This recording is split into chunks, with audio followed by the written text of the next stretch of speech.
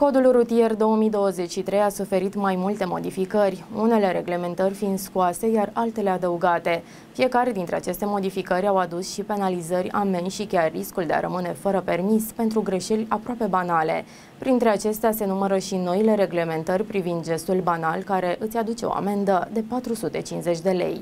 Amenzi de 1500 de lei pentru românii care locuiesc la bloc. Cine riscă astfel de sancțiuni dure? Românii care stau la bloc cunosc cât de stresant este zgomotul produs de bormașina vecinului la ore nepotrivite. Cei care folosesc bormașina fără să țină cont de oră riscă de acum amenzi usturătoare. În comparație cu cei care locuiesc la curte, românii de la bloc trebuie să folosească bormașina numai în anumite intervale orare pentru a nu deranja liniștea vecinilor. Folosirea bormașinii este cu atât mai neplăcută dimineața, mai ales în weekend weekend, când zgomotul de la bormașină nu te mai lasă să dormi, deși ai putea să o faci fără nicio problemă. Cei care stau la bloc găsesc periodic mici modificări pe care trebuie să le facă pentru o locuință mai modernă, însă este important ca acest lucru să se facă fără a-i deranja pe vecini. Orele de liniște de la bloc, conform legilor din România, sunt perioade în care nu ai voie să-ți deranjezi vecinii cu zgomote tari, fie că dai muzica la maxim sau că folosești o bormașină sau o altă sculă care provoacă zgomot. Folosirea bormașinilor în timpul acestor ore de liniște nu poate fi făcută la bloc, cu excepția cazului în care în prealabil se obține acordul scris al vecinilor,